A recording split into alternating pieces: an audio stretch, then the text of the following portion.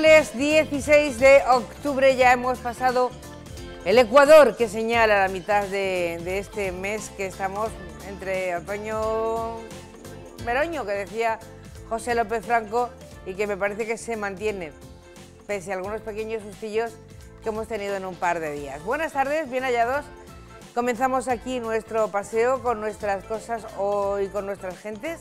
Hoy les contamos, pues hoy les contamos lo que hemos considerado que podía ser de su interés, pero como siempre les digo, hay un correo no solo de sugerencias, eh, sino de comentarios o de aquello que nos quieran decir. El paseo rtvce.es.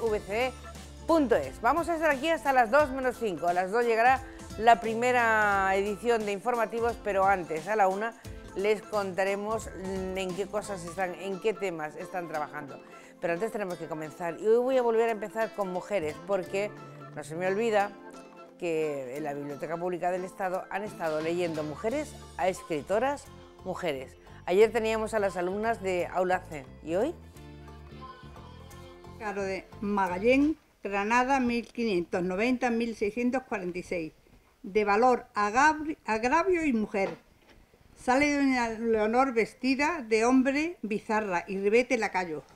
En este traje podré cobrar mi perdido honor. Pareces el dios de amor, Qué talle, qué pierna y pie. Notable resolución fue la tuya, mujer tierna y noble. Cuando gobierna fuerza de la pasión, no hay discurso cuerdo sabio en quien ama. Pero yo, mi razón, que mi amor no, consultada con mi agravio. Voy siguiendo en las violencias de mi forzoso destino, porque el primer desatino se rindieron las potencias. Supe que a Flandes venía este ingrato que ha ofendido tanto amor con tanto olvido tal fe con tal tiranía.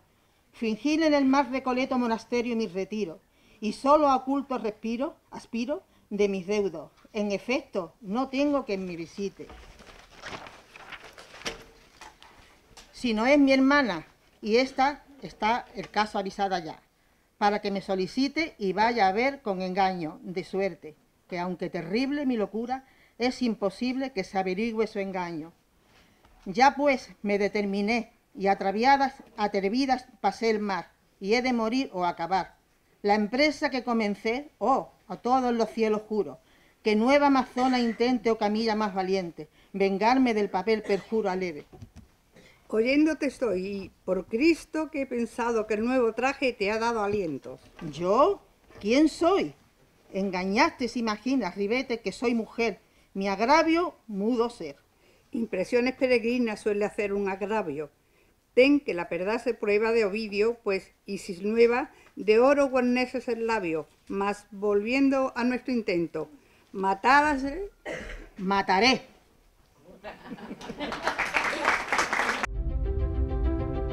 ¿Qué es lo que de verdad nos define? Somos diferentes, pero somos iguales. Nos gusta ayudar. Nos gusta sonreír. Somos libres y queremos que todos lo sean. Estamos organizados. Nuestros valores son imperecederos. Valoramos el respeto por encima de todo. Estamos orgullosos. Porque damos mucho gracias a recibir tanto. Siempre. Somos solidarios con todas las letras. Vuelve la gran recogida de alimentos. Un evento único que llena las despensas de nuestros bancos tu ayuda es imprescindible. Súmate.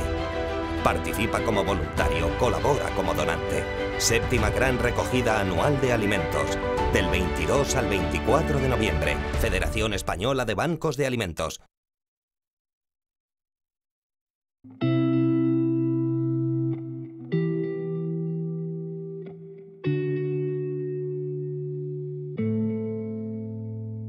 El perro más guapo, pequeño y abandonado.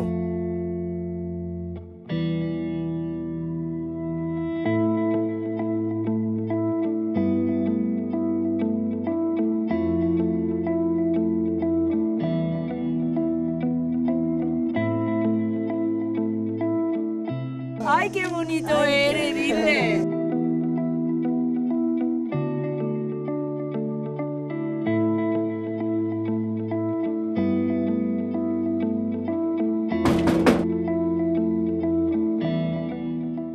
Encontrado un perro abandonado y a ver si le podemos buscar una familia.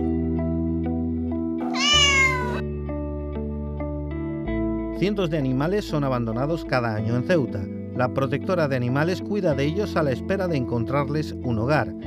Si tienes interés en que formen parte de tu familia, visítanos.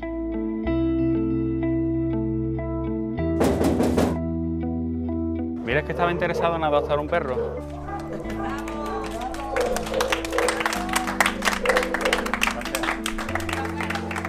Cuando vas de vacaciones nos dejáis los animales abandonados.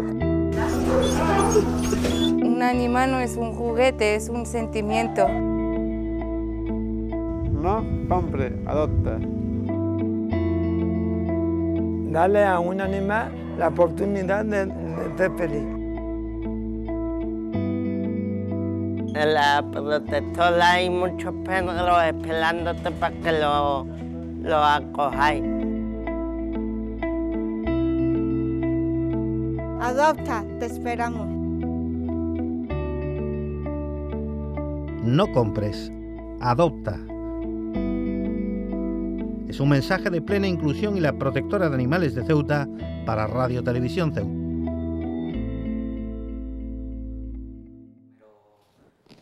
Bueno, vamos a comenzar después de las recomendaciones que les hemos hecho. Hoy también eran alumnas de Eulaza.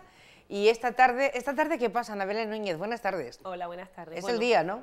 Sí, hoy celebramos las decimocuartas, las 14 jornadas Día Mundial de la Salud Mental. Eh, no voy a decir otra vez lo mismo, pero sí voy a decirle que, hay que han llegado a las 14. ¿no? Hemos llegado a las que Era, 14. que era algo, algo difícil. ¿Hoy Pues qué sí. toca? ¿A qué, hora, ¿A qué hora quedamos? Bueno, pues a las 5 es la inauguración en el Salón de Actos del Ayuntamiento. Eh, puede venir todo el mundo, no hay una inscripción previa, es decir, esperamos que quien se quiera escribir, pues bueno, a las 5 inauguramos, desde las 4 y media estamos inscribiendo. Y, bueno, y vamos a hablar de- del lema de este año, de Conecta con la Vida, que está vinculado a la prevención del suicidio y, y yo creo que puede ser una jornada un poco especial.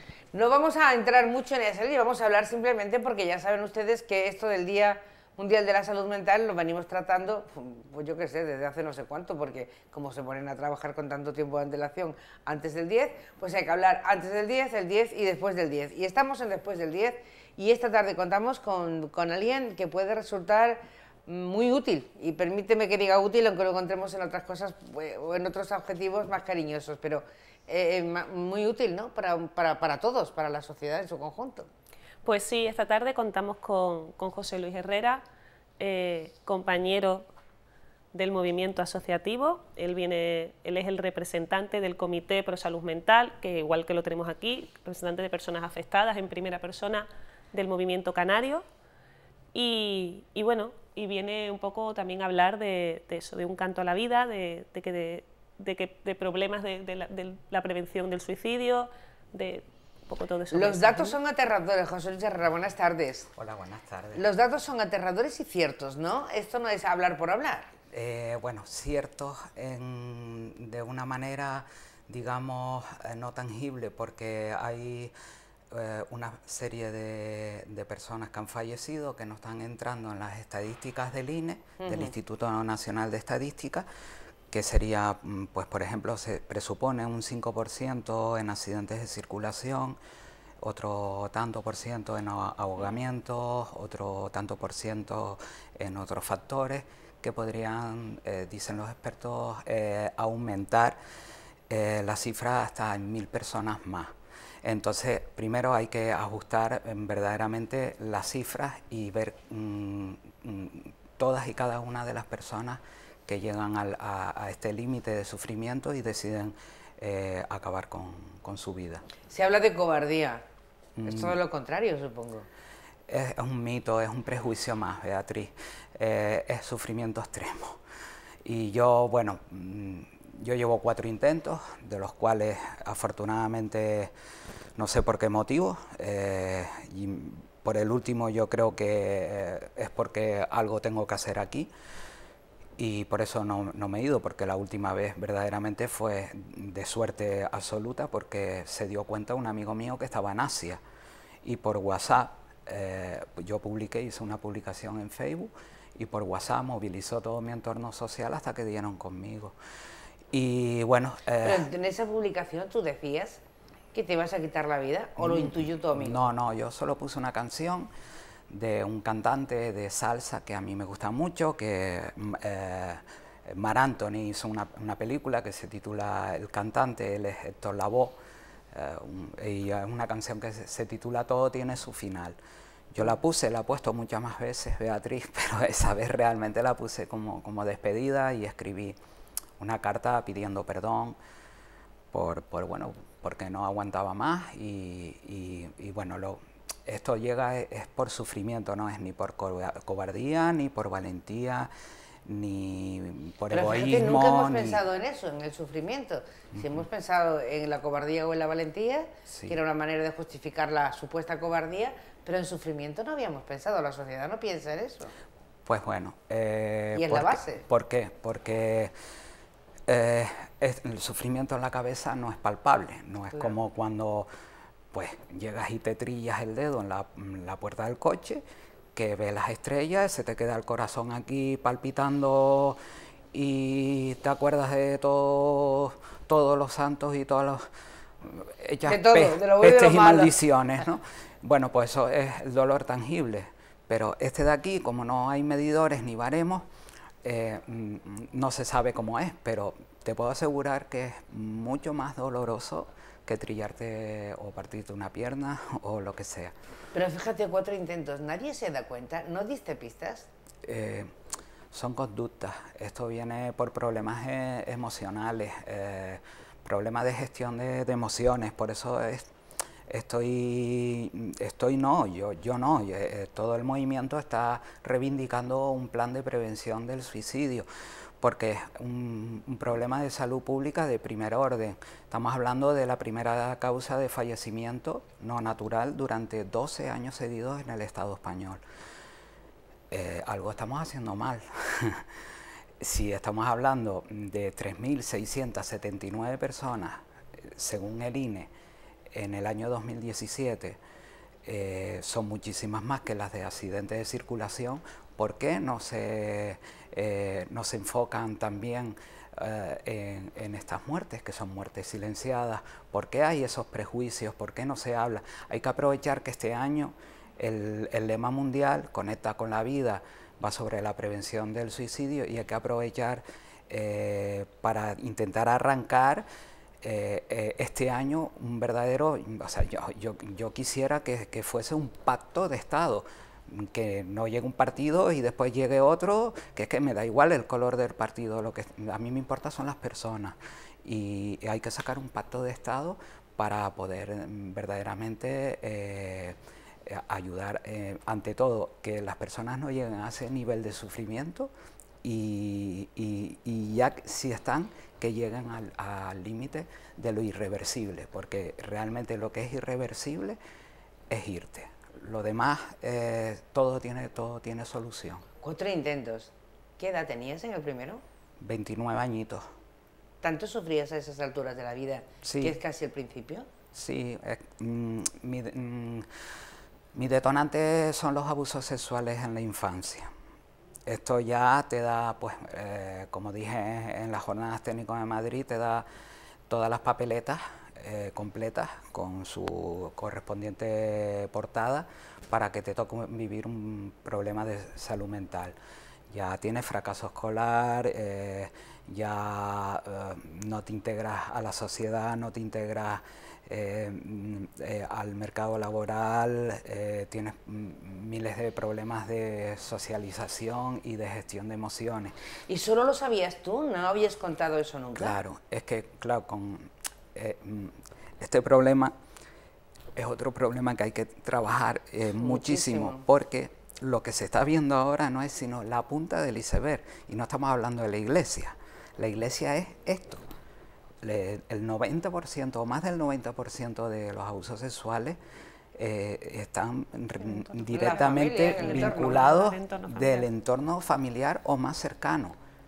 Esto quiere decir que esto está eh, interiorizado en la sociedad de una manera realmente bestial.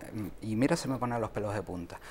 eh, es horroroso. O sea, para mí no hay cosa más repugnante, asquerosa y, no quiero decir palabrotas, que, hacerle daño a, a, un niño o a una niña. Pero superas la primera y dice, esta no es tu hora, te toca seguir viviendo. ¿No descubriste ahí nada? ¿No descubriste que vivir era importante? No, porque no sabía gestionar las emociones. Vivía por vivir. ¿Mantenías tu RQR? Sí, ahora tengo un sentido de la vida, me siento útil. Esto lo estábamos hablando fuera, tomando café, que el sentirse útil es básico y fundamental para Pero el ser si nadie sabe nada, ¿no te integra la sociedad o no te integras tú en ella? Es que es muy difícil verbalizarlo, Beatriz. Ya lo sé, yo estoy pensando ya en ti, tú estás aquí, gracias a Dios, superado y ayudando a todo el mundo, pero en esas otras personas que puedan estar en ese, en ese momento, ¿no? Mm. Es muy difícil verbalizar, pero ¿quién no se integra? ¿Es la sociedad la que da el portazo? Eh, ¿Eres tú que nos llama a la puerta? Es la sociedad porque produce un rechazo. Si yo, después de haberme pasado lo que me pasó con ocho años, a los 11, 12 años empiezo a escuchar voces, y las voces no son voces agradables ni muchísimo menos, son voces que están constantemente diciéndome, eres una basura, no sirves para nada, eh, tírate delante de una guagua, la guagua es el autobús. El, autobús. Eh, y cosas de este tipo. Mensajes todo ahí constantemente y esto desde luego no es un plato de buen gusto para nadie. Pero hay veces que ya se transforma ya en, en, en, todo estos, este pensamiento es continuo, continuo. Reiterativo. Reiterativo, no puedes dormir, a las 3 de la mañana estás que no sabes qué hacer, quieres dejar, y lo que quieres principalmente es, dejar de sufrir. Yo eh, lo verbalizo como si fuese el cuenta revoluciones de un coche, y este ejemplo me salió así y, lo he cogido un poco como para que se hagan una idea de cómo es la mente ¿no? y, y el hilito que es eh, pasar de, la cordura a la locura, porque esto también habría, que, verlo, ¿eh? Habría que verlo, ¿no? Eh, y que ese cuenta de revoluciones y tus pensamientos, lo está marcando ese cuenta de revoluciones, llega a las 12, 13 mil vueltas a la zona roja, lo pasa, vuelve y lo pasa, o sea, tu cabeza no aguanta literalmente más.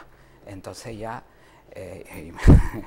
tengo eh, las emociones todavía a flor de piel, eh, se me ponen los pelos como, como escarpias, como si se lo pueden ver, sí. Eh, lo único que quieres es eso. Entonces, no lo puedes verbalizar porque ¿cómo vas a verbalizarle?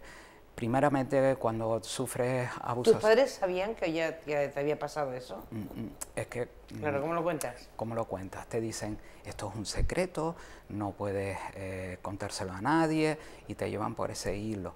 Eh, y entonces, bueno, aparte después, mm, tú pasas a ser la víctima, eh, la víctima, perdona, el culpable.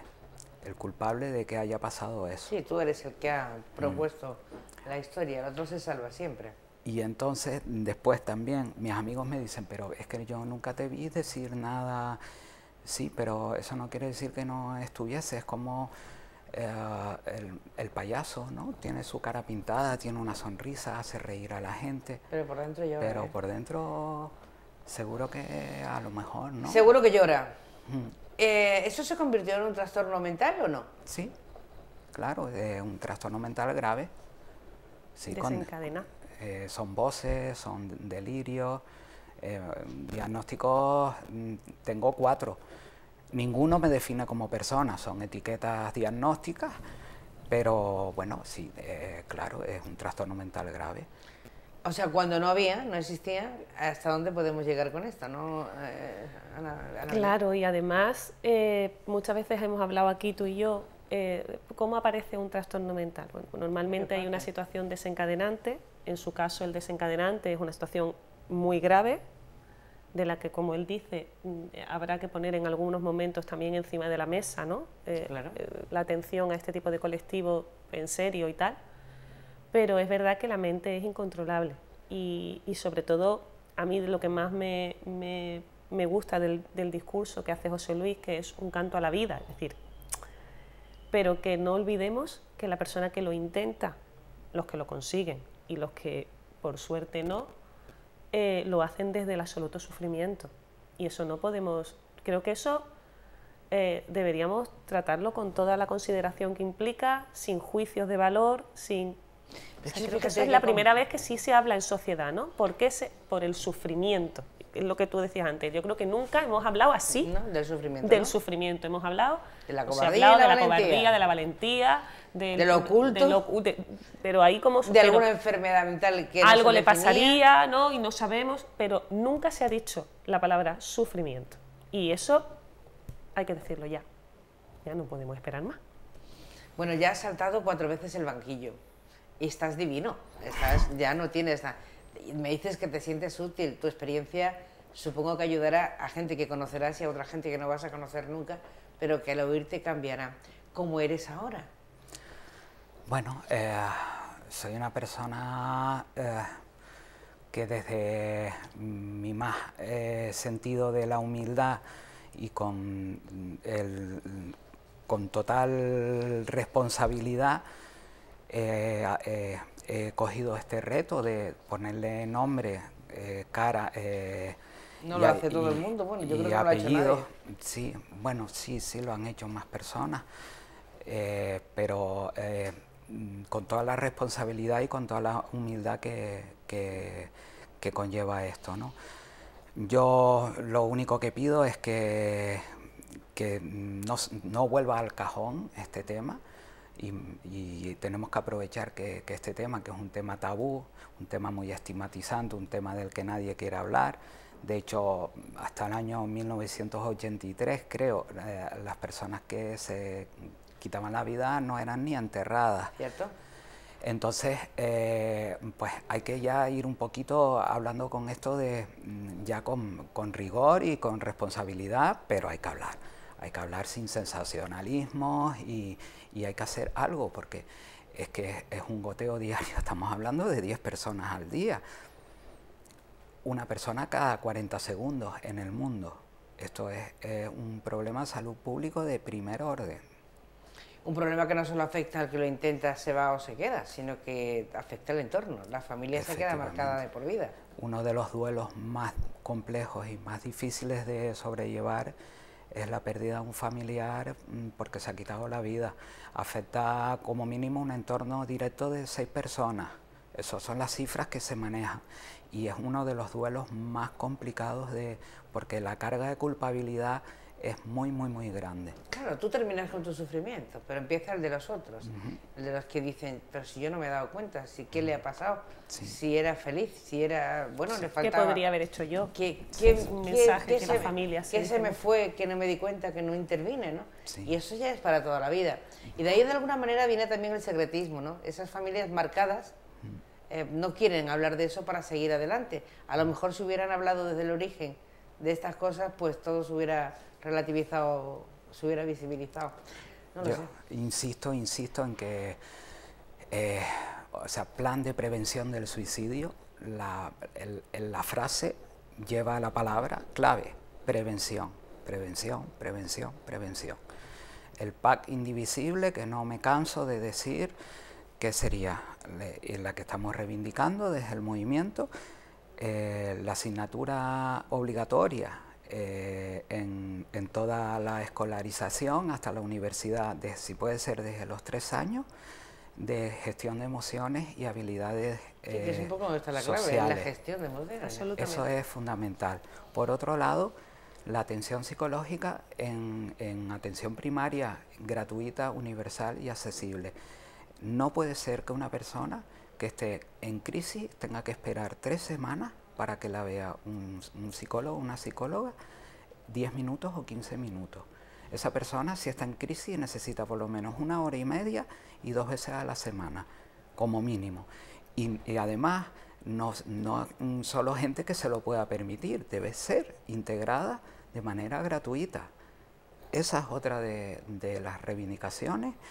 Otra sería el teléfono de tres cifras para atender tanto a familiares como las personas afectadas y sus amigos para ver cómo deben actuar si ven una persona en crisis y esa persona no quiere llamar, cómo pueden, cómo pueden acompañar, siempre intentando no imponer orden y lógica, sino acompañar en ese proceso porque hay mucho caos, hay mucho caos y a veces mm, la persona no, va a entender que, que, lo que le estás diciendo tiene que ser, mm, es más un proceso de, de acompañamiento hasta que la persona se estabilice y pueda salir de esta situación y después ya el, el teléfono de tres cifras, aparte de 24 horas gratuito, con un número que sea como el 018, el 016, el 112 y después ya el plan en sí de prevención. Está todo por hacer, José Luis. Sí, pero es que si pero no lo también es verdad que no se ha reivindicado antes. Entonces, claro, bueno, igual lo que no se conoce como esto, si no sabemos que sufres, ¿cómo vamos a pensar que un día te quieres quitar la vida? Es algo, ¿no, María, Ana Belén? Esto Totalmente. Es, decir, yo creo que, como decía él antes, esto después de, este año, donde la prevención del suicidio está siendo eh, el eje principal dentro del movimiento asociativo, yo creo que esto no se puede ir al cajón ya, es decir, ya está encima de la mesa, ya estamos hablando de esto desde la, desde la información, desde la claridad, sin, sin el prejuicio, sin el ocultismo, ahora ya es cuando hay que empezar a trabajar. Además con, con, hechos tan rotundos como el suyo, ¿no? con ejemplos tan rotundos como el tuyo.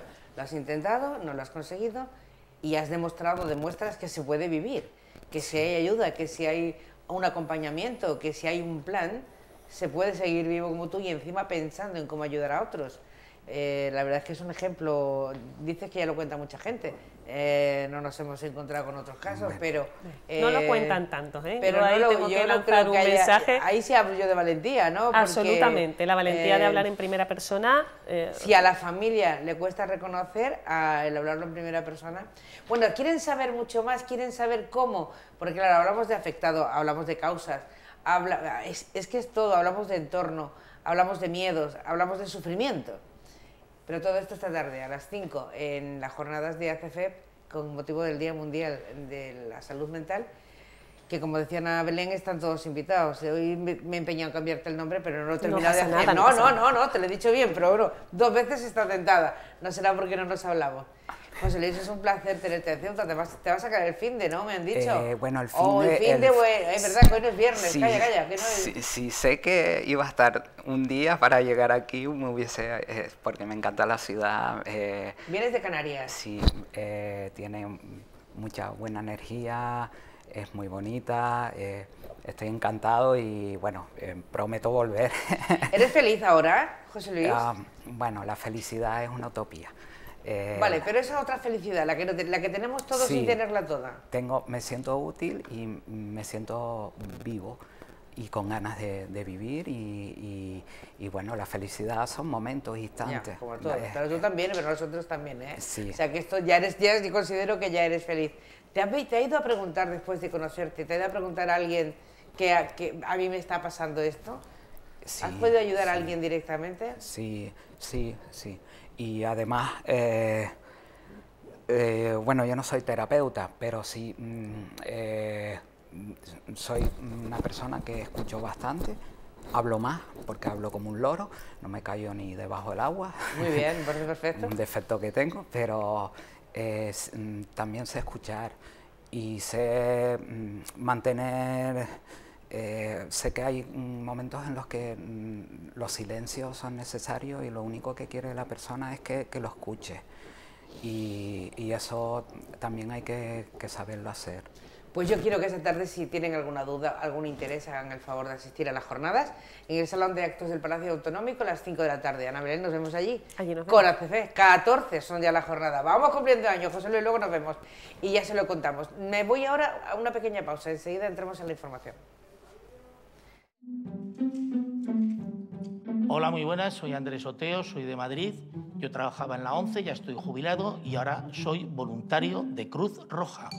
Yo sé que con ambulancias no voy a poder conducir, pero la tecnología y los móviles se me da bien y es lo que hago. Ayudo con aplicaciones en los móviles para gente mayor, ciega o con discapacidades. Estamos probando una aplicación que es GPS que te indica a dónde puedes ir derecha, izquierda, adelante y con esa información yo me muevo por la ciudad. Hay una aplicación que estoy ahora probando que una foto que tiene texto me la lee y así yo me entero de lo que pone. En Cruz Roja lo que se conoce es la banderita, el fútbol, las ambulancias, pero detrás de Cruz Roja hay mucho más. Si quieres hacer voluntariado, en base a tus capacidades y conocimientos, puedes hacerlo. Y aparte, el voluntariado lo deberían recetar los médicos. Fácil, ágil y flexible. Haz voluntariado. milmanerasdevoluntariado.org bueno, pues me voy con... Me voy con nada, me voy a quedar aquí. Yo solo voy a hacer una llamadita de esas milagrosas que hacemos en la tele. Decimos, José López Franco, buenas tardes, redacción de informativos, ¿qué tal? Buenas tardes, pues aquí estamos trabajando sobre las noticias que se emitirán a mediodía en el informativo. ¿Cómo está la jornada? ¿Muy controvertida o, vamos bien? Bueno, eh, podemos anticipar eh, que eh, la fecha del debate a 6 en la televisión pública será... ¿Tenemos debate? sí, el 8 de noviembre. 8 de noviembre. Fecha fijada, ya se ha conectado con los diferentes partidos políticos en las próximas horas tendremos la confirmación de todo, ya la mayoría han dado su visto bueno, todavía está por decidir los bloques eh, que se abordarán en, este debate, que han de ser consensuados, evidentemente, también los tiempos a utilizar, y se va perfilando eh, la configuración de este debate, que será muy esclarecedor, puesto que el día 8 de noviembre es el último día de campaña, el 9 es la jornada electoral y el 10 la votación en estos comicios generales donde eh, se vuelven a disputar unos escaños que vamos a ver en Ceuta en quienes recaen. A ver, a ver, ahí está, la suerte está echada, ¿no? Ahora depende, depende de, lo que, de lo que nos digan en estos días.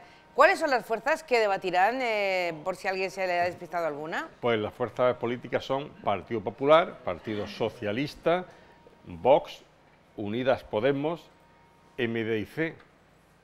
Me falta una. Ciudadanos. Ah, eso ya está, me falta una. Pues esa será el próximo día 8, debate a 6 en Radio Televisión Ceuta, nuestros servicios informativos, pues eso, trabajando.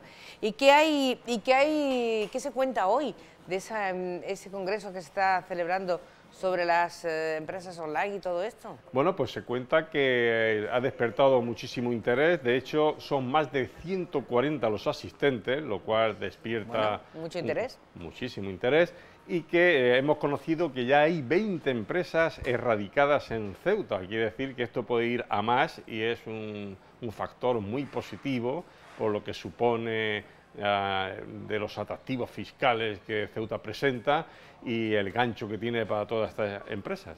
Habrá que recordar, según ya nos explicaban en su día, que 20 empresas, 20 empresas, pues no veo letreros, pues no veo nada. Bueno, aquí lo que no hay son salones de juego, aquí hay empresas que no van a abrir puertas para que vayamos a jugar porque estamos hablando de juego online, no nos confundamos, ¿no? O sea, no va a haber manifestaciones de repulsa ni historias de este tipo. Mm, vete a saber. Es, la tecnología llevada a otro ámbito, ¿no? Es, es otra historia, eh, que bueno, además a nivel, de, a nivel de ciudad, a nivel de impuestos, a nivel de todo, yo creo que el que crezca el empresario ceutí, pues es bueno, muchas ciudades han vivido de eso mucho tiempo y ahora pues lo, han perdido.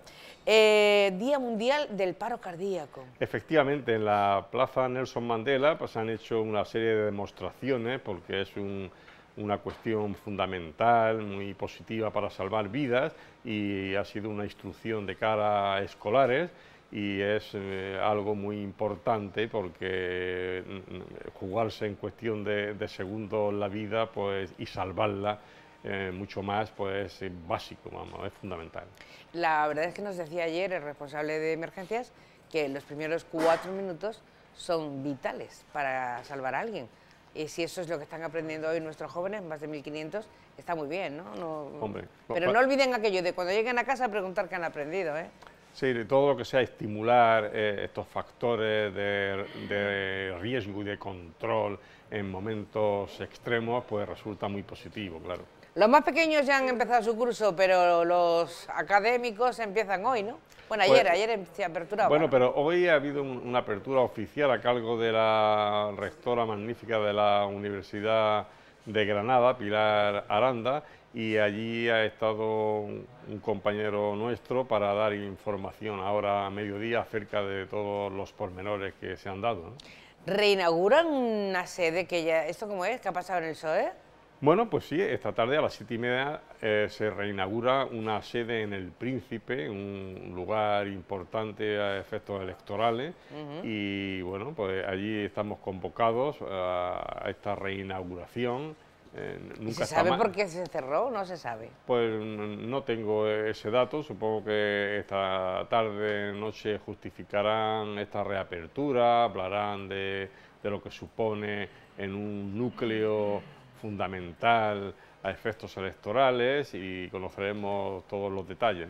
Sobre todo si recordamos cuál fue el porcentaje de voto en, ese, en esa zona concreta de la ciudad, ¿no? Hombre, mayoritario para el Partido Socialista, que tuvo ahí una hegemonía muy muy grande. ¿no? Lógicamente querrán volver a, retomarlo. Bueno, lo que no entiendo, eh, si eso sí me gustaría, porque cerraron nada, hace nada, porque hasta hace nada se ha utilizado. Algún problema habría. Bueno, ¿Qué me cuentas del tiempo? Bueno, pues el tiempo eh, soleado, como se ve, amaneció con un ligerísimo levante, con cierta humedad. Mm, mm. Ya estamos en, poniente, que es la temperatura, es, eh, el viento. lo que a ti te gusta. Claro. Y las temperaturas pues se van acondicionando a lo que es el otoño. Tenemos la máxima de 22 y la mínima de 17.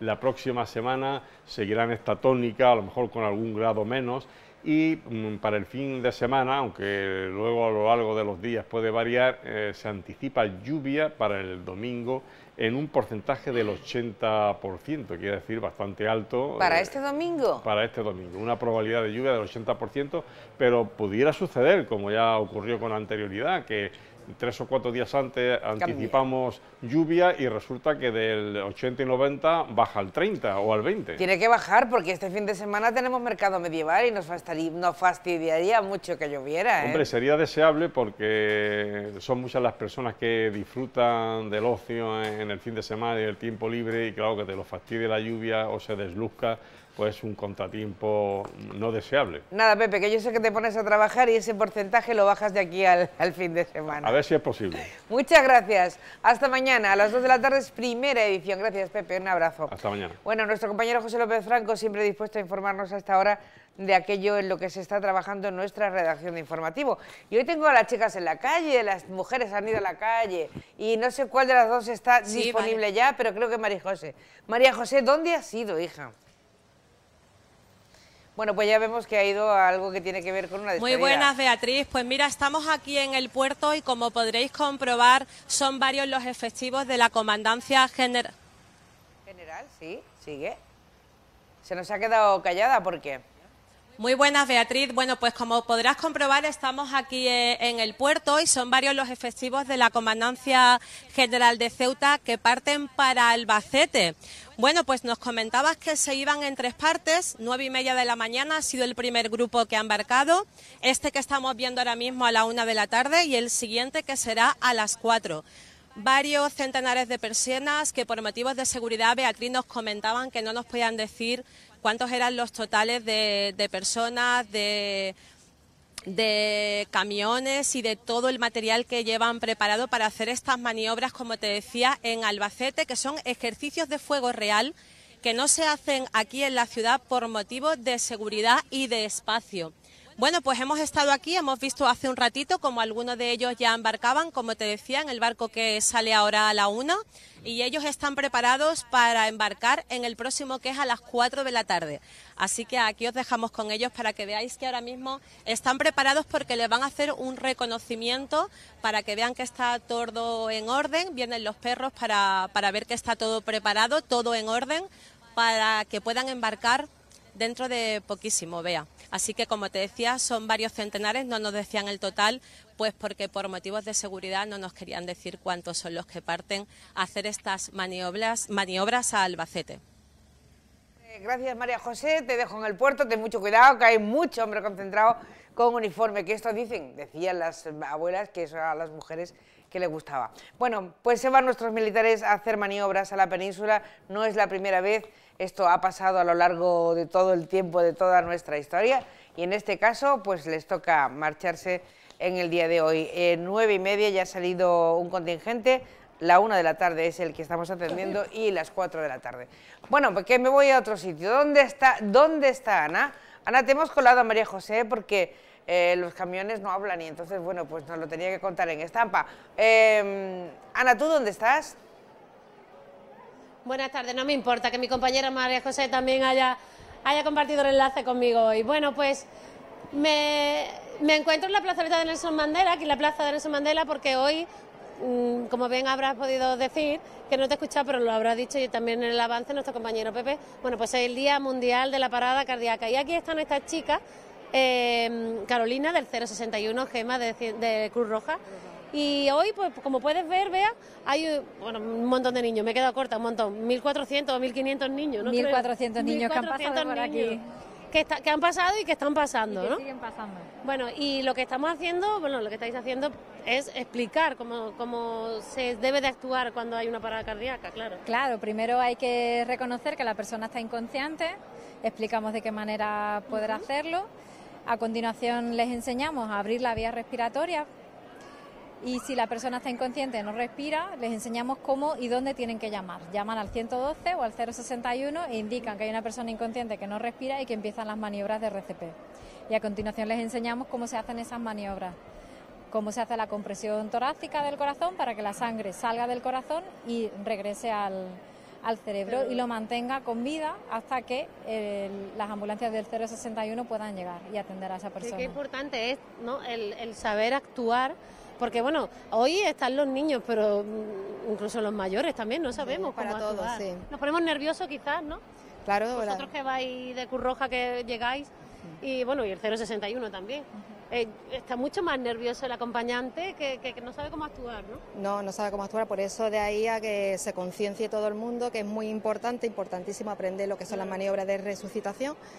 Y bueno, y por eso se ha fomentado un poquito esto para, bueno, para la gente joven y bueno, y no tan joven, porque esto está abierto para todo el mundo, para, para aprender lo que es la técnica, porque en un momento dado de nuestra vida puede ser útil. Claro, muy que útil. es súper útil, eso es lo que yo digo, que, que esto, esto no, no ocupa lugar, ¿no? El saber, el saber cómo, cómo reaccionar ante, ante una parada cardíaca. Bueno, ¿qué es lo que nos encontramos por aquí, Carolina? Porque veo, eh, están mm, los de los chicos de los bomberos, ¿no? También hoy. Sí.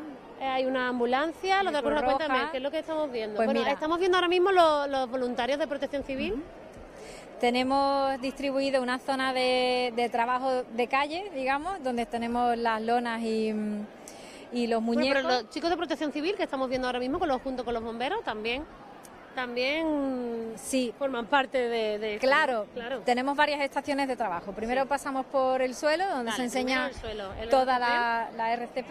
A continuación se pasa por la ambulancia, donde eh, los compañeros enseñan qué hay dentro de una ambulancia, cómo vamos distribuidos y cuál es el trabajo de nuestro equipo. Pasan a continuación al, al hospital de campaña de Cruz Roja, donde se enseña cómo se desobstruye una vía respiratoria en caso de atragantamiento y cómo actuar si hay una hemorragia. A continuación pasan a la ambulancia de Cruz Roja, donde se enseña igualmente cuál es el material y se vuelve a hacer un repaso del anterior. Se pasa con los bomberos, que enseñan cuál es la posición lateral de seguridad o de rescate en caso de una persona inconsciente que respira. Y por último tenemos a los compañeros de protección civil que enseñan cómo, cómo son las comunicaciones y cómo se producen entre los diferentes servicios de emergencia. Vale, bueno, tú te vas a subir ahora que estamos viendo que hay muchos chavales. Sí, en breve me subo al escenario. Nos subimos si quieres ya, que te vayan viendo y así, bueno, nos vamos a subir porque tengo que preguntar una cosa. Nos subimos, ¿no? Chica, ¿tú también te subes con nosotras? Venga, vámonos. Nos subimos arriba. Bueno, aquí nos enfrentamos a lo que nos estabas explicando antes, ¿no? Sí. A, la- a hacer la, la reanimación, la RCP.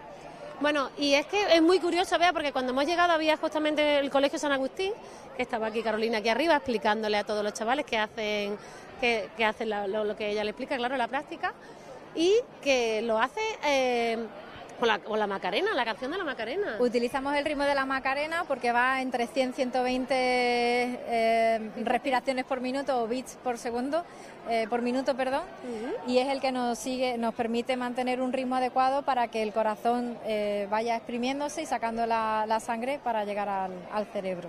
Hay más canciones, ¿no? Me Sí, contabas. la de voz esponja. Fíjate. Y Yo que la escucho todas las mañanas con mi niña y nunca me había imaginado que, que la canción de Bob Esponja podía, y también Star Wars nos ayuda. También, ¿no? También, hay muchísimas. En el Spotify podéis encontrar una lista de canciones RCP y cualquiera de ellas que os guste. Que parece una tontería, no- nos reímos por lo de la Macarena o lo de Bob Esponja, pero sí que tu cerebro recuerda ¿no? esa, esa melodía. Sí, te marca el Claro, ritmo. y... el ritmo y como que te acuerdas y como que lo hacen Claro, lo es hacen como, mejor, claro. como un hábito y Claro. marcas el ritmo y eso no se te olvida. Claro. Bueno, pues yo os dejo porque creo que viene por allí otro cole. No sé si me dará tiempo a acercarme un poquito a los bomberos. Que muchísimas gracias por atendernos, muchísimas gracias por, por darnos estas A clases vosotros. tan importantes y que es un placer teneros cerca. ¿eh? Que estoy, me, siento, me siento muy segura hoy. ¿eh? Muchas gracias. Bueno, vea, pues yo, si te parece, nos despedimos, pero, pero antes por lo menos ver qué es lo que están haciendo nuestros compañeros los, bueno, los bomberos y ya si quieres nos despedimos. Mira, vente, vente por aquí. Venga, a ver, bomberos, que van, atentos, que se, con la Bombero, manguera... el cuerpo de bomberos, Pepe, ¿qué tal? Buenas, ¿qué pasa? ¿Qué, estás haci- qué estáis haciendo? Pues mira, nosotros aquí? estamos practicando en este taller la posición lateral de seguridad y explicándosela sobre todo a los niños con qué tipo de persona o, o víctima se hace y cómo se hace sobre todo. Y bueno, aquí llevamos toda la mañana con los colegios. Claro, porque vosotros también os enfrentáis a esto, claro, no solamente... Hombre, nosotros algo de primer auxilio debemos de saber claro, por la tenéis que profesión. saberlo, claro. Entonces, pues nos pidieron colaboración y dentro de lo que cabe, pues esto lo sabemos dar y lo damos. Claro, claro, qué bien. Bueno, nuestro nuestro equipo de, de- de bomberos, nos voy a preguntarle a un chaval. Buenas, buenas tardes. Hola. ¿Estáis aprendiendo mucho hoy? Sí, sí, mucho. ¿Sí? ¿Y, y cómo se te da a ti lo del RCP, la animación esa del muñeco? ¿La has hecho? Sí, sí, se, se me da muy bien. ¿Sí? Sí, sí. Si a alguien le pasa algo, ¿tú eres capaz de atenderlo con lo que has aprendido hoy? Bueno, sí, estamos, estamos aprendiendo ahora y eso. Claro, muy bien. Entonces ahora está aprendiendo lo que lo que dice lo que dice el. Bueno, bueno, vea. Bueno, gracias por atendernos. Ya está, te dejo, vea, que es que comienza ahora el Colegio de la Inmaculada con lo que decía de lo de Carolina y bueno, bueno, y quería así- a ver si sonaba la Macarena para que la escucharas. Pero no, sí, bueno, ya ayer lo contábamos y ya hemos entendido que esta canción tenemos que memorizarla. Ana, muchas gracias, quédate, Sí, sí. aprende la, la, ta- la práctica o haz la, yo qué sé, mira a ver cómo, por si te hace falta.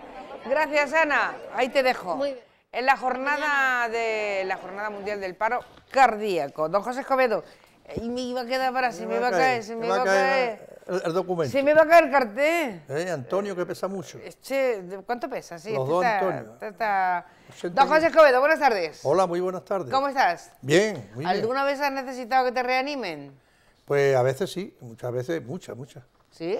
Claro, he tenido caída también de, de sentimiento y de... Y caí... ¿Y qué es mejor, aprender esta práctica o ponerse una buena, un buen fandango, una buena bulería? Un, Hombre, mejor una buena botella de vino y un buen fandango. Eso Pedazo de queso, jamón y aceitunas aliñadas. eso lo cura todo. Eh, ya está, eso te cura todo. Pero bueno, no habéis cambiado, ya no habéis metido hamburguesa, no, no seguís con el jamón, el queso y las, las aceitunas aliñadas. Bueno, porque nosotros somos tradicionales. Ya. Somos tradicionales de los tiempos antiguos. Oye, pero que con una hamburguesa Bueno, también se puede escuchar flamenco, hombre, ¿eh? claro, se puede buscar- escuchar flamenco hasta cinco meses, se puede escuchar. Es verdad. Por y si estás callado, mejor.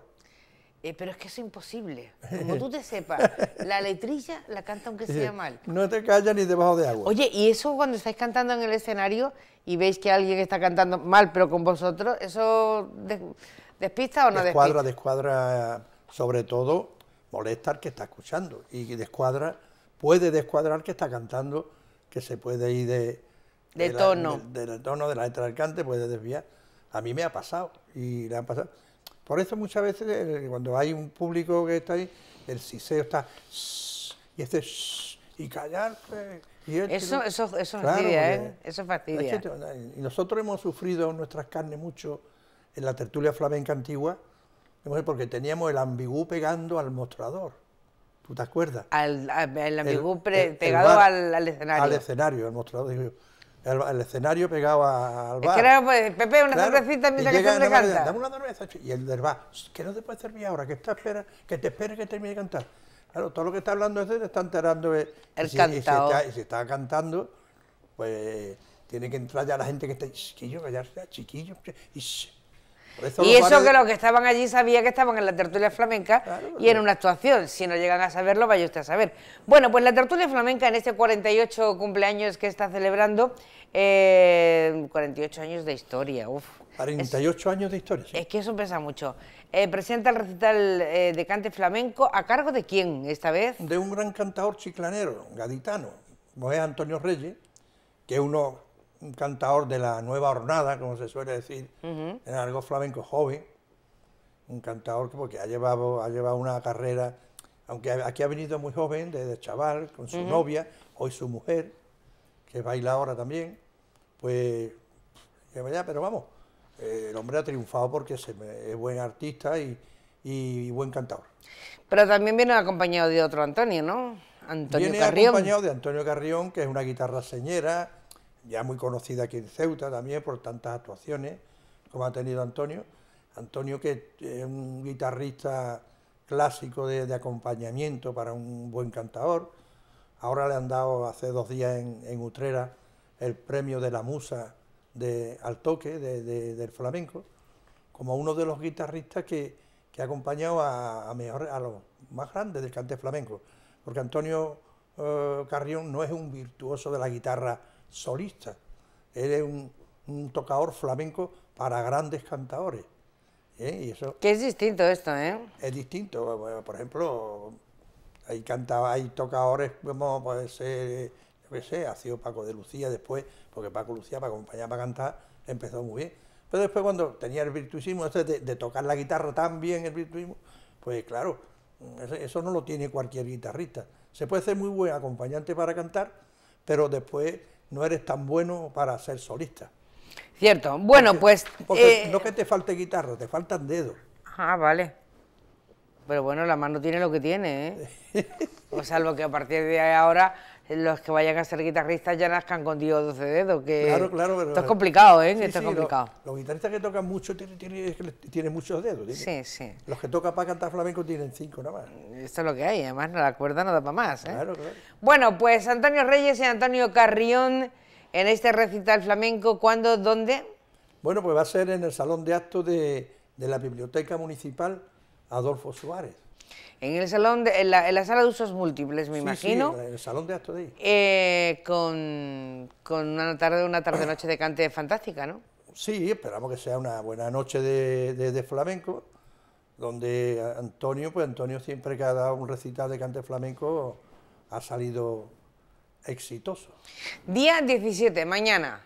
Mañana nos cogemos, bueno, yo, pues yo estoy preparada, yo ya me puedo ir con los lunares. ¿Los molestan los lunares a los cantadores? Porque parece que el No, hombre, lunar y el flamenco está como muy ligado y a lo mejor no, ¿no? Eso decía el, el cantado de Jerez, de... Por eso digo. Son de lunares, son de lunares, el vestido que tú llevas es de lunares, es de lunares. Fíjate, hoy ni se lo he pedido, hoy me has hecho un regalito. Bueno, Eso le pasa a los artistas, nos pasa a los artistas. Cuando pide cante, no canta. bueno, yo no me puedo quejar, siempre que te pido que cante, cantas. Hoy no te lo he pedido y me lo has regalado. Me, me obliga, me estás pisando el Te pie estoy ahí con el acelerador y con los lunares. Bueno, mañana a las ocho y media en la sala de usos múltiples de la Biblioteca Pública del Estado, recital flamenco organizado por la tertulia flamenca eh, con Antonio Reyes y Antonio Carrión a la guitarra. Y presidente de la tertulia, ¿qué va a haber elecciones? Va a haber elecciones en diciembre, a primero de diciembre, sí. ¿Y qué va a pasar? ¿Hay lista? Hay Porque claro, eh, ¿cuánto tiempo llevas de presidente? 32 años. Claro, y dirán ustedes, es que, es que le va la marcha. No, es que no había sustituto tampoco. Porque, Bueno. hombre, al principio es porque uno, en fin, está haciendo cosas y quiere seguir el proyecto. Pero tú Ah. ya llevas varios años diciendo que te gustaría renovar las filas. Sí, yo llevo ya tiempo ya que quiero... Anteriormente sí han, han habido más, más aficionados flamencos que han presentado candidaturas. Pero han ¿Es verdad? presentado conmigo y, y han perdido, le he ganado yo. Pero ha habido elecciones que han- siempre ha habido... en- en- Yo me en- refiero a las últimas, no que, que no... En los últimos años no, no ha habido, no hay... No, hay, no, no ha habido. No ha habido competencia. Y yo ahora, pues lo que he hecho ha sido mayormente eh, proponer a, un, a un aficionado, un socio de la tertulia, que, que ha llevado incluso hasta el ambigú en la Plaza Ruiz del, del bar del- de la tertulia, que a ver si, si quisiera él eh, seguir el camino, la ruta esta de, del aficionado del cante flamenco de la tertulia. Y, en fin, parece ser que está decidido y que, y que tiene un, una, Proyectos. proyectos y que tiene una serie de, de directivos ahí, de amigos. eso es lo que hace falta, hace falta que venga un equipo eh, joven, tirando ya, gente de 40, 50 años, 50 y tantos, pero, porque ya todos los que vemos y de 70, 80, pues ya estamos un poquillo más desfasados. ¿no? Pero sigue gustando el flamenco a pesar de... Claro, ¿eh? sí, pero si por mí, si por mí fuera, no, pero pasa que es que ya hemos llegado a un momento que la tertulia necesita un cambio. Y si el cambio se le puede dar, se le puede dar. Eh, ahora mismo en la tertulia no tiene socios. Estamos en un socio con cinco, seis, que somos, siete. ¿Esos son los socios que tiene la tertulia ahora? Nada más, nada más. Tenemos, desde, desde que nos fuimos de la Plaza Ruiz, Se hemos, perdió pe- todo. hemos perdido la, la- la- la carpeta de los socios, se han perdido. A ver, no es que, se haya, es que no han que se haya perdido la carpeta, que la carpeta la tienen. se han ido los socios, que es No, se, ha distinto. perdido, se ha perdido la carpeta de los socios. Y entonces, claro, pues es- existe ahí. Al, al presidente le cuesta también esfuerzo y, Y dinerillo, dinero, y dinerillo. y dinerillo le cuesta todo eso, y tal, que parece que no, pero cuando no hay ingresos y hay gastos, eso, aunque la gente cuenta con la subvención, dice, oye, es que esto estáis subvencionados, sí, pero la subvención hay que justificarla a la hacienda municipal, a la Consejería de Cultura, y lo que te dan es cuatro partidas para cuatro eventos flamencos, autificado y a cogerlo con alfileres, porque te puedes meter hasta en el talego y todo. Sí, Hombre, claro, si lo- si claro, lo- porque es que estás jugando con un dinero público. Exactamente, no, Eh, y- no. Y hoy en día, hoy en día tiene WhatsApp. Hoy en día porque hay que justificarlo todo muy bien, como es natural, como es normal. Como es lógico, ¿no? Como, es, natural. como es legal, vamos. dinero público que te da, bueno. Ahora, eh, está en el que vaya a gastar dinero, pues todo lo que haga tiene que comunicarlo, que por escrito, que te lo comuniquen, que te lo, que te lo aprueban. Que no, no, que sí, sí, pero sí, pero no es. Otros años eran de otra manera, había más, más, más elasticidad en, en los gastos, en la presentación de. No es que no hubiese un- Bueno, pero han cambiado los métodos, esto ya está. ha eh, cambiado, ha cambiado para todos. No, pero es que, la, es que la, la gente que se cree dice, uh. Ay, Vamos, que la gente que se cree que tú te has comprado un chalete si, si con... yo dejo, si yo dejo la tertulia, con la una cosa de dejar la tertulia flamenca para mí, es por el, por, por, por eso, por, por no tener, porque si yo tuviese dinero, no necesitaría dinero de, de, de, de cultura ni de eso para hacer nada. Yo haría y me gustaría y lo dedicaría. Oye, ¿y el que viene tiene pelas o no? El que se va a presentar. El que viene pues se va a encontrar con ese problema también, Ah. pero si es valiente, joven y tiene eso para adelante, pues tira para adelante y ya está. En diciembre. En diciembre. Todavía se puede presentar alguna que otra candidatura. ¿Esta ya está presentada o Tiene que solamente ser hablada? socio, claro, tiene que ser socio. Pero, Pero eh, mismo si no tenemos socio y también presenta eso, bueno, ahí el que hay, el que hay se va a presentar. sí, esto es muy fuerte, Pepe. ¿Eh? Yo me río, pero esto es fuerte. Después de 48 años no tenemos ni socio. O sea, llegar arriba llega en tres días y venirte abajo en un día. Ya, eso sí, pero... Bueno, que va a haber elecciones en la tertulia flamenca primeros, primeros de diciembre, ¿no? Sí, más o menos. Y que, bueno, que ahí parece ser que hay una candidatura que va a hacer que Pepe no abandone la tertulia, pero se dedique a otras cosas. Yo que sé, a cantar, por ejemplo. No, sí, pa- para mí va a ser mejor. Yo me podré dedicar a charlas de flamenco donde quien me llame, poder cantar libremente, porque yo no puedo cantar libremente no por ser presidente de la tertulia flamenca. Yo estoy, yo estoy muy Limitado. muy limitado y supeditado y le tengo que dar sitio a otro, le tengo que dar sitio a otra, le tengo que dar sitio a este. Es verdad, Cuando a mí me gusta eso. Por eso yo, a mí me ha gustado más cantar que ser presidente. Por eso muchas veces canto y dice, es que el presidente canta y es presidente. Porque es que yo estoy cantado, yo no soy presidente. El otro vino porque tuvo que yo llegar. soy presidente porque me han puesto ahí, porque tengo cara tonto. Hombre, Pepe, vas a fastidiarlo todo. A todos los 38 todos los- años, 32 todos años los de- presidentes que se meten ahí en un, en un laberinto de esto Hmm. es porque tiene cara tonto. ¿Sí? Sí, todos. Y los que llevan más de 30 años es que tiene cara siguen de- teniendo cara de tonto o han sido listos. Eso tiene cara de gili. Ah, es que vamos. De gili. lo tiras todo por la borda, casi no se puede. De gili. De Gili. Sí. Bueno, pues señor presidente de la tertulia Gili, le agradezco, le agradezco mucho Hay que yo creo que no, que uno tiene que defender y trabajar en las cosas en las que cree y la tertulia para ti siempre ha sido importante. y Hombre, lo llevo sigue 45 siendo. años en la tertulia. ¿eh? Entonces, bueno, yo creo que Llevo uno 45 años en la tertulia. defendiendo el He cante. tenido mi disgusto con mi mujer, he tenido mi disgusto con mi marido, me ha costado mi dinero, he tenido- que no es solamente ser presidente, el presidente digo que es lo de menos. A mí lo que me gusta es cantar. Vale. Yo soy eh, cantador. Y vas después lo primero que mi mujer me ha puesto la maleta dos veces en la calle, en la puerta, por el flamenco. Sí. Claro, porque los flamencos somos Que los flamencos cantáis a determinada hora y después de determinadas copitas también. Dice, claro, y el yo llegaba a mi casa, y me dice, oye, que ahora vengo. Dice, no, ahora vengo, no, ahora te vas ahí. Toma, este que tiene la maleta ahí. ¿Y tú ya. qué hiciste? A ver, me hincaba de rodillas y me ponía, de- me ponía en la puerta a llorar. Y te hacía caso a la pobre. No, me la pobre pues me recogía. Es que vez. es buena, ¿eh? es que- buena. Es que los flamencos tenemos guasa. Tela. Tenéis WhatsApp y ahora estáis más ordenados, ¿eh? Pero yo conozco un flamenco que muchos días no sabe ni dónde está él. No es que no lo conozca, no es que no lo sepa la familia, es que él no sabe dónde está. Bueno, Pepe, que quedamos mañana para disfrutar de flamenco. Pues mañana a las ¿Qué ocho y va a ser? Eh, ¿Qué tipo de flamenco se va a cantar? Eh, Antonio Reyes tiene un, un abanico de cantes muy bonito. Él no es un cantador de la pureza ortodoxa, aunque lo sabe también, pero él sabe lo que tiene que darle al público y lo que quiere.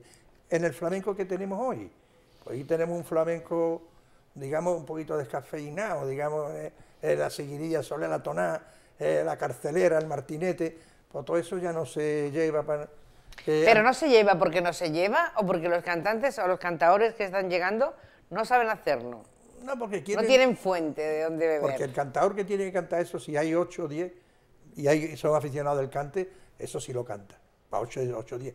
Pero él no quiere tener un público de 8 o 10 ni 15. Quiere tener 300, 400 o 500 personas que le gustan el flamenquito, el que llaman flamenco, flamenquito, y eso. Claro, y hoy se lleva eso. Sí, Hoy se lleva el flamenquito. hoy se lleva más, más bien. Pero la raíz es el flamenco. y Yo creo Claro, que el flamenco, flamenco, se es sigue el flamenco- respetando. Lo que pasa es que es el verdad flamenco es el flamenco, que hay pero- pocas gargantas que ya aguanten ese flamenco ortodoxo y pocos maestros de los que aprender, salvo que estén grabados. Y entonces sí se puede aprender de ellos, ¿no? Yo, yo no- recuerdo que aquí en Ceuta, cuando yo cantaba, iba a cantar una noche, en, en teatro, en, el- en la tertulia o en un teatro, iban la gente de aquí de Ceuta y las más, creo que así. Y una vez canté un poco por seguirilla, un poco por y dice, ¡oh! Ya va a empezar esto. Y mi mujer me lo decía a mí.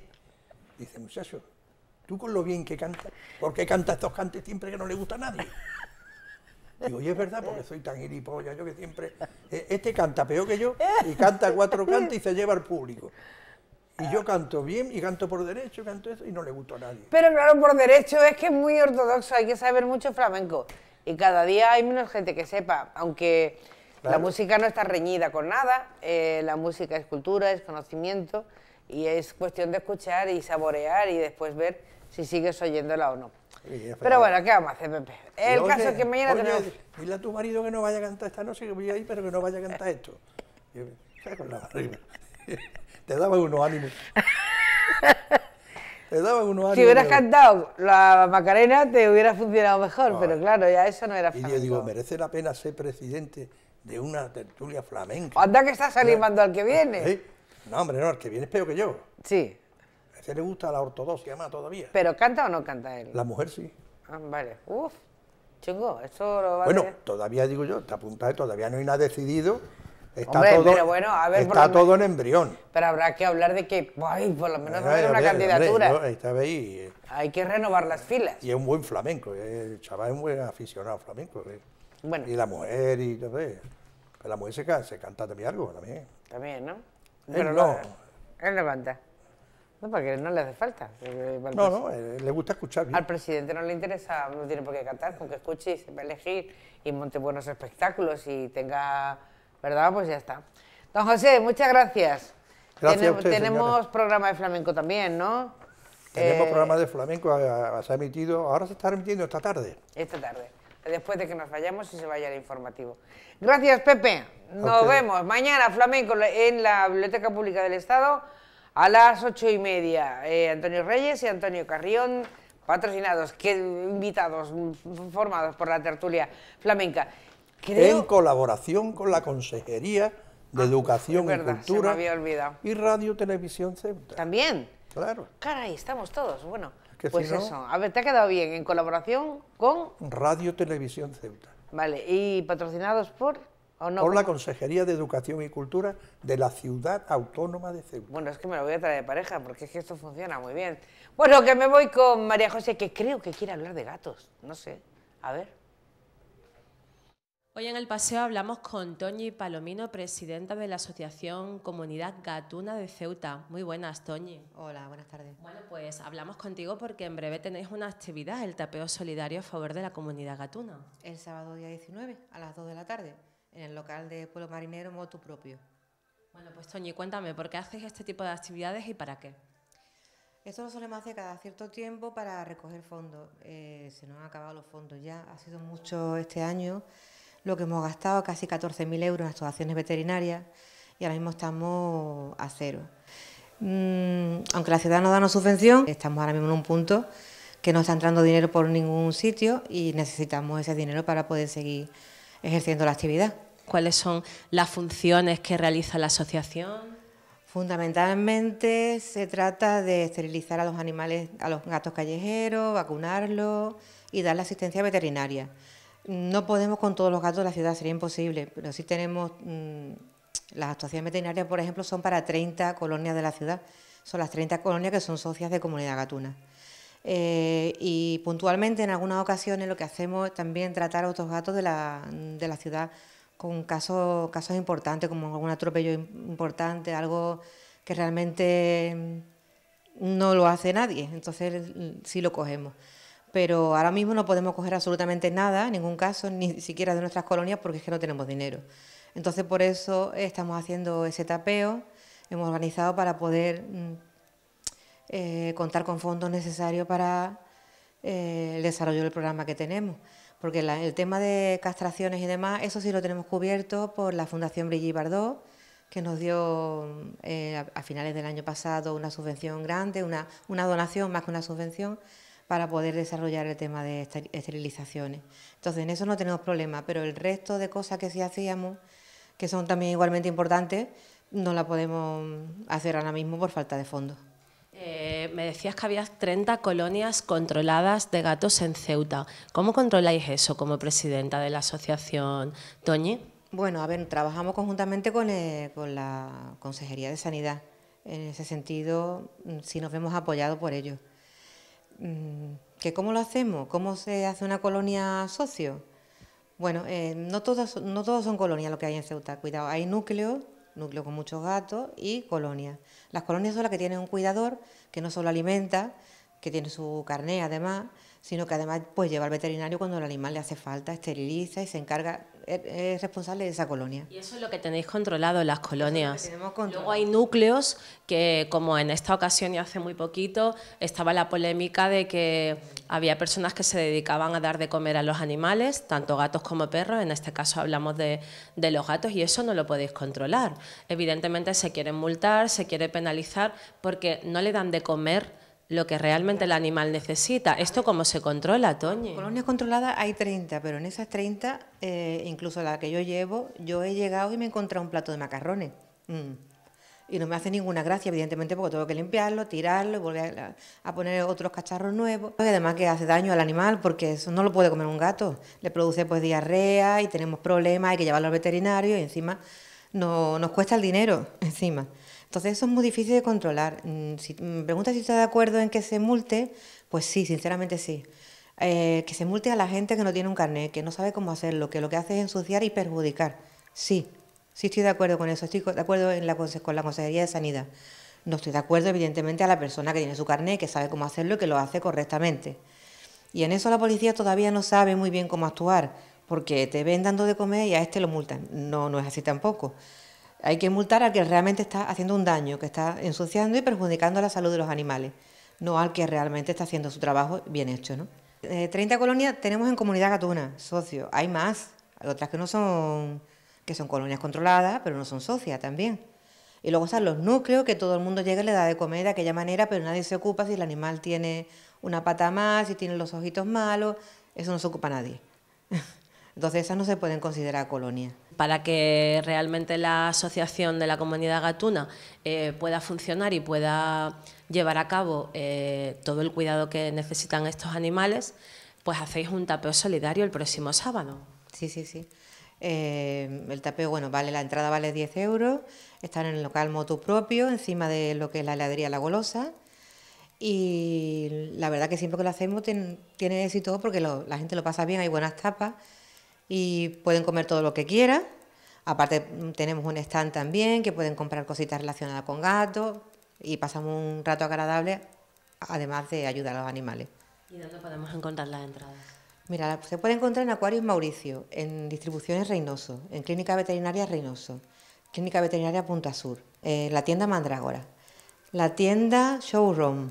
Por medio de Facebook, un privado, se, puede, se le puede acercar incluso a, a donde sea. Yo, mi tiempo libre sí que es verdad que ocupo en ayudar a los animales, pero no puede ser tampoco que eso ocupe el resto de mi vida, porque entonces no, no viviría, no trabajaría y es imposible. Como el resto de los voluntarios, hacemos lo que podemos, lo que está a nuestro alcance.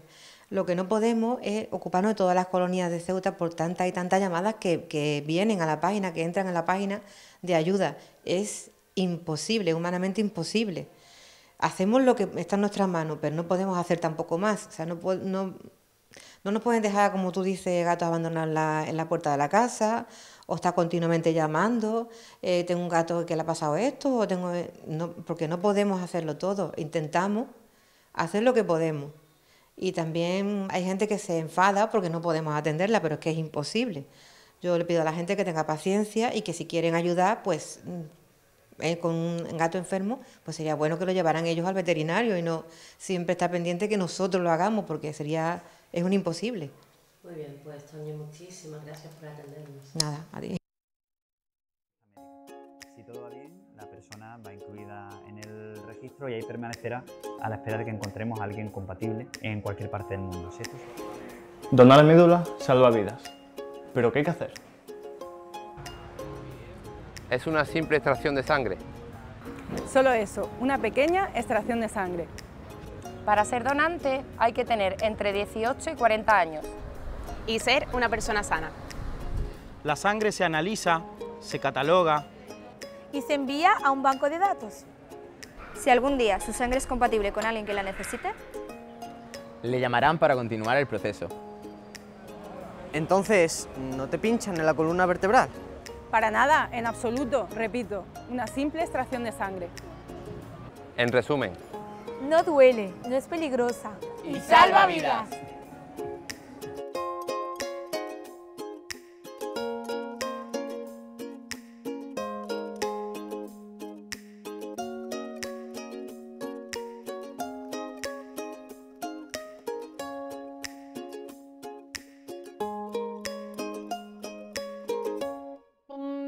Me voy después de recomendarles esto que es importante, me voy al cine, pero no voy a sacar ni entradas, porque me van a invitar y como me van a invitar, pues ¿para qué voy a sacar entradas? ¿O no? Y Morata, Rafa, buenas tardes. Me vas a invitar. ¿no? Hombre, es que eh, ir al cine y que te inviten y además a ver clásicos y a ver cine, cine que no es muy común, pues a eso, vamos, no hace falta, a eso hay que invitar. Hay que Pues promoverlo e invitar. Rafa Morata nos invita al cineclub de la biblioteca. Es de, la- es de Rafa, pero es de la biblioteca, ¿no? Es de la Biblioteca Pública del Estado, porque es quien te recibe, quien te abre puertas Sí, y quien sí. te la facilita, ¿no? Yo, yo lo propuse, pero las puertas me las abrió eh, José Antonio, el director, y muy bien, mucho interés y demás, y muy contento, muy contento. Pues director del cineclub, dígame qué nos va a poner en esta ocasión. Pues vamos al cine francés eh, clásico, porque la última película agobió un poco a- al personaje, es decir, gustó muchísimo, pero al salir me dije... Ha dejado huella, ¿eh? Sí, sí, esa película ha dejado huella. Yo, yo sabía que iba a ser una película potente para iniciar el, el cine club, eh, Pa- eh, Pacto Diabólico. Y bueno, y como al salir me dijeron, Rafa, me ha encantado, me ha hecho reflexionar, dice, salí un poco agobiado, dice, a ver si nos propone una comedia. Digo, bueno, es que yo la comedia de risa, o sea, la, la- la que simplemente tú te pones para reírte, no, digo, a mí me gusta o la comedia, la comedia como yo bien A ver, ahí, que el sí. cineclub es el cine según Rafa Morat. Sí, Esto, es- yo- no yo- es- esto no es, esto es muy personal. Yo comprendo que, que pasa por mi filtro. Es que soy único, Beatriz. Entonces soy muy caprichoso y soy muy, soy muy Selectivo. eh, soy muy selectivo. No, no. Eh, claro, eh, una película de, de risa, bueno, pues ya tienes ahí cuar- 40.000 películas de blockbuster que te sacan y que te cuestan dinero, 8 o 10 euros para ir al cine y demás. o, eh, entonces, bueno, ¿qué propongo yo? Pues como yo bien definía la película que vamos a ver hoy, esta tarde a las 7, que es la de Jack Becker, de se, Se escapó la suerte, pues es una comedia, pero no es una comedia para que te rías, sino una comedia que te arranca una sonrisa porque, porque te, te planta ante la vida, te transmite vida y te sumerge en la vida. Y, y- y- y si te saca una, una sonrisa o también eh, te frunce el ceño, que también, que, también lo, que también lo provoca, pues eso es vida, eso es una comedia, la comedia de la vida, ¿no? Pues, pues eso es una comedia. La comedia entendi- entendida según tú. Bueno, Entendido también. Yo, también me gusta la comedia, la comedia que te hiere, es decir, la, la- la- la- la- la comedia negra tipo Berlanga, Ascona, eh, la comedia con mala uva, esa, esa la valoro mucho. Dice que es muy difícil hacer reír. Yo creo que es más difícil no provocar la risa por la risa, sino eh, hacer reír eh, eh, reflexionando, hacer reír en- eh, eh, exponiéndote la vida tal cual y hacer reír también mm, haciéndote daño con el humor negro. ¿eh? Eso es, ese Ese es el- duele, el, ¿eh? mejor. Ese el humor duele. que duele es el mejor humor que te pueden echar a la cara. y es más difícil, ese sí que es difícil. ese no se consigue con un, con un monólogo. ¿Quién era, quién es Jeff Becker? Pues mira, Jack Becker es un director que desapareció muy pronto, con, 57 eh, con 54 años, en 1960, después de rodar una obra maestra absoluta, que fue La Evasión, una película carcelaria que se adelantó a Hollywood, es que era una especie de adelantado. Es. Era, eh, de él decían que era el más francés de los cineastas franceses. En un principio, porque empezó a trabajar con uno de los reyes de- del cine francés, que fue Jean Renoir, pues siempre dijeron que era una especie de... En un principio decían que era una especie de artesano, segundón de Jean Renoir, que copiaba mucho su estilo, pero pronto, vamos, desde la primera película reveló eh, Guppy Manos Rojas, una película muy peculiar, en el año 40-41, creo que es, eh, pues ahí reveló la personalidad de Jack Becker, un director que, que utilizaba los guiones, o sea, exprimía los guiones, es decir, hacía saltar por, por los aires los, los guiones para, para, quedarte en la esencia, para, quedarte en la, eh, humanidad de, lo- de los diferentes géneros que él trataba. Él trató el cine negro.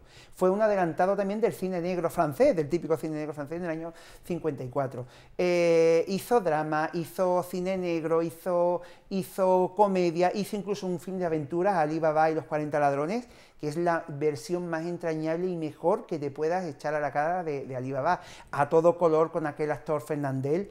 Es una delicia de, de película, muy colorida, muy, eh, es un director que es, es el más francés de los franceses porque es humano, es pasional y, y- y tiene mucha personalidad. Es todo ¿Y cuándo, regla. descubriste tú a Jeff Becker? ¿Con qué película? Pues mira, Jack Becker lo conocí eh, en, el, en el lejano cineclub de La 2, cuando era diario, en la época de, de Pilar Miró, te hablo yo, finales de los 80, principios de los 90, pues eh, con su película, la película suya más famosa, que es eh, Casquedor, El París bajo fondos, una- una- un, un drama romántico precioso, eh, es que Jack Becker eh, lo, que, lo que hacía es que mm, la pasión me puede no hablar. Lo Ya que te hacía era, ya. sí, sí, eh, te, huma- te lo humanizaba todo, pero es que además te, te introducía en su, en- no en la trama, porque si hablamos ya de trama, mm, estamos eh, poniendo ya en contradicción con lo que es Jack Becker. Te hacía entrar en, en la historia, en, lo- eh, o sea, te hacía físicas las historias, ya fueran de época o ya fueran actuales. Te sumergía en la historia y además es que, es que te daba un baño de, de humanidad. A ver si Eso podemos una- ver un poquito de Jeff Becker, de, de la peli de... de que no, de- no te, pues no te, ha, lle- no te ha llegado. No ha llegado, ¿no? Bueno. Pues, eh, pues eso, eh, Jack Becker se despidió con La Evasión, un film eh, carcelario, que es una obra maestra rotunda, pero es que además se escapó la suerte que en principio iba a ¿Qué ser... cuentas se escapó la Pues suerte? mira, se escapó ¿Qué la es lo que vamos a ver esta tarde? Pues mira, se escapó la suerte, es una pareja a la que le toca pues un décimo de lotería. ¿Y qué pasa? Pues que, pues que ese décimo se, eh, se le pierde. ¿no? Se les escapa y con él se le escapa la suerte. Y eso le sirve al director para hacer un retrato de la época y también un retrato costumbrista que no solamente sirve para la época, es que sirve para, para hoy en día. Eh, va, eh, es una película supernatural como lo era Jack Becker. Y bueno, nuestro Berlanga se inspiró en esa pareja feliz mm, se inspiró en esta película y en otras también italianas, pero también en esta película de Jack Becker para hacer su ópera prima, esa, pareja feliz que codirigió con Bardem. Y esta película, que en principio iba a ser una película supuestamente menor de Jack Becker, se alzó con el premio de oro en Cannes. Es decir, Jack Becker es que te sorprendía porque eh, es, lo que yo, es lo que yo comentaba el otro día en un artículo, es que tiene 13 películas y, y de ellas no puedes decir nada malo, es que hizo 13 películas Tres obras maestras, Hombre, a mí me gusta mucho. Eh, bueno, y tiene también una de ellas que espero ponerla, eh, Los amantes de, de, Montparnasse, que es muy famosa también. Esa película la heredó él, él, la iba a dirigir otro cineasta colosal, en, este, en esta ocasión alemán que huyó del nazismo, se hizo películas en Estados Unidos, en Francia, Max Hofful, eh, que trataba sobre, sobre Modigliani la vida de Modigliani, una, vida tristísima. O sea, la heredó porque la iba a rodar Max Ophüls, Max Ophüls murió y él asumió el proyecto. Pero es que no asumió un proyecto de Max Ophüls, es que asumió un proyecto de Max Ophüls para transformarlo en una película suya de Jack Becker e hizo una película, e hizo una obra maestra. Eso, es una película que te golpea, pero es, que es una maravilla. O sea, que tú a este señor le dabas un guion y le decías esto es lo que quiero contar y él contaba lo, que veía en el guion que no era lo que decía el guion. O lo escribía él, porque él, él, él, coescribía sus guiones, pero los hacía suyos. Es decir, tú no puedes decir, dice, eh, o sea, yo veo una película de Jazz Becker y esta película es de Jazz Becker. Pero es que además, ya te digo, como dije antes, eh, rodó, o sea, eh, hizo varios, varios, trató varios géneros, pero es que hizo, mm, cada género lo hizo suyo. Y además fue precursor en muchas ocasiones del género que tocaba. Bueno, pues ya de que esta tarde en la Biblioteca Pública del Estado, en el Cine Club, con eh, Se escapó a la suerte. Se van a ir los asistentes, que espero que vengan. Eh, Beatriz, voy a recordarlo porque yo creo que es importante. Hemos cambiado de día, de momento, miércoles, es un día que gusta a la, gente. Hemos, hemos adelantado un, un poco la, hora. a las 7 de la tarde, porque da más juego, primero que acabamos antes, y también puede dar más juego para una película un poco más larga, ¿no? que no salgamos a las 10 o algo. ¿no? Entonces es una buena hora. Es los miércoles y en esta ocasión, mm, quienes asistan, que yo espero que sean muchos, yo decía, eh, yo decía en mi artículo, digo, eh, venía a ver esta película que se os va a escapar el tren y la suerte de poder verla, ¿no?